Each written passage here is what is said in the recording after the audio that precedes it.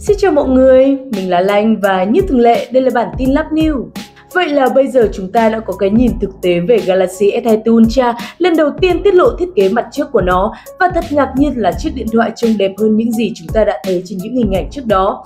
Vì vậy khi lần đầu tiên nhìn thấy thiết kế chính thức của S22 Ultra cách đây vài tuần, mình đã rất phấn khích khi thấy Samsung cuối cùng cũng sử dụng những đường viền mỏng đối xứng ở giao diện mặt trước.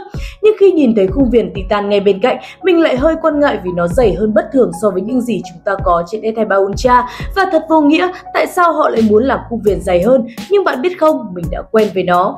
Hôm nay mình tình cờ xem được một thông tin dò dỉ ngoài đời thực về S24 Ultra và hòa ra tất cả những tin đồn và hình ảnh chính thức đó đã khiến chúng mình bị đánh lừa về khung viền. Trên thực tế, nó mỏng hơn nhiều so với những gì họ đưa ra, phù hợp với khung viền của S23 Ultra.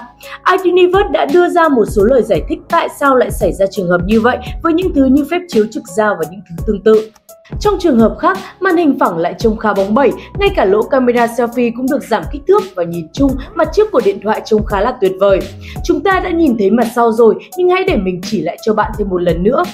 Thành thật mà nói, mình thường chỉ thích màn hình cong, nhưng khi nhìn vào chiếc điện thoại này ngay bây giờ, mình thậm chí thấy nó có vẻ ngoài khá là hoàn thiện.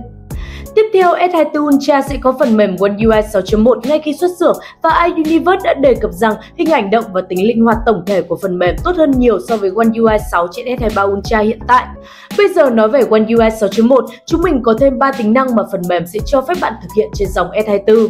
Đầu tiên trong ứng dụng thư viện gốc, bạn sẽ có thể nén video theo thời gian thực mà không cần ứng dụng riêng. Hãy xem xét trường hợp nếu bạn muốn chia sẻ video nhanh chóng nhưng kích thước tệp quá lớn.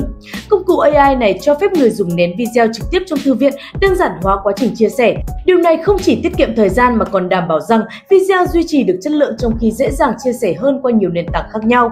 Thứ hai, S24 cũng mang đến cho bạn sự linh hoạt để chọn bất kỳ phần cụ thể nào trong video và thêm các hiệu ứng chuyển động chậm vào đó. Điều này cực kỳ thú vị. Thật hoàn hảo để làm nổi bật một bước đi thú vị trong video của bạn hoặc thêm chút kịch tính và điều tuyệt vời là bạn có thể làm điều đó ngay trong thư viện mà không cần tải xuống bất kỳ ứng dụng bổ sung nào. Thứ ba, điện thoại đi kèm với một công cụ hỗ trợ trình duyệt sử dụng phép thuật AI để giúp bạn chỉ ra những nội dung quan trọng, dịch nội dung và cung cấp cho bạn những bản tóm tắt nhanh chóng về các trang web bạn đang xem.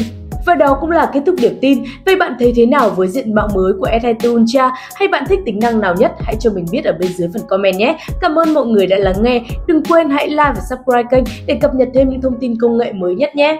Bye!